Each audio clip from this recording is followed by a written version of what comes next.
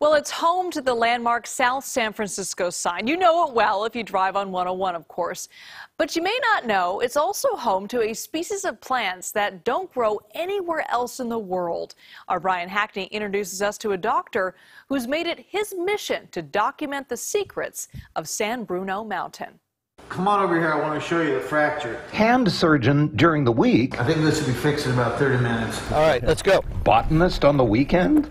Parsnip. Cow parsnip. Not surprising. A lot of the explorers in botany were doctors. You did not get your medicine from a drugstore. You collected it in the woods. You had to know your plants because all your medicines came from plants. Is this the path? Wow, it's growing up. That's Dr. David Nelson Yeah, it's over here. and his writing partner, Doug Allshouse. Some plants seem to kind of like the worse the weather is, the better they like it. The plants up here don't know what uh, time of the year it is because they think it's winter right now when you and I think it's summer. Oh, there's some seaside daisy over there. Oh, yeah, yeah, yeah, beautiful. And what's important is there's five plants here that don't exist anywhere else in the world. Our four rare plants are all manzanitas. This is San Bruno Mountain manzanita. It only grows here and nowhere else in the world, and it's named for San Bruno Mountain. Why do rare plants grow in San Bruno Mountain? There's a couple of answers. Partly it's unique soil, and the soil comes from the geology, and this is unique geology. And this guy's been knocking around San Bruno geology for decades. You see this? This is a block. Ed Medley loves the rocks. Aesthetically, they look lovely.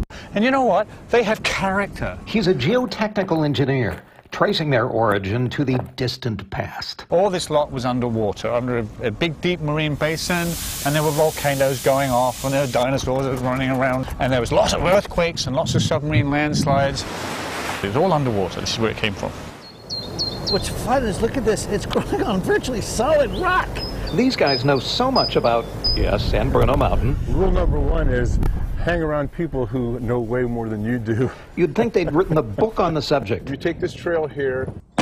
In fact, they have. I like to tell people that the reason the book got written was because everything I hated to do, he loved to do, and everything he hated to do, I loved to do, so that's how we got it going. It's easy to get lost.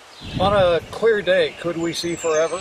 We could see Marin, we could see Montana, we could see the East Bay over here. The other thing about it is that we're right close to San Francisco. There's a huge amount of civilization. Uh, you can't see it now, but we're totally surrounded by cities. And yet, this is the largest wild area.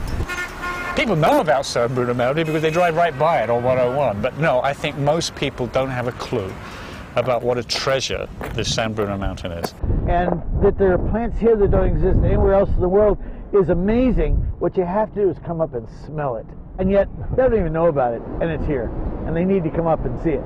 I hope the mountain bites you because once it bites you, you stay bitten. Rather beautiful.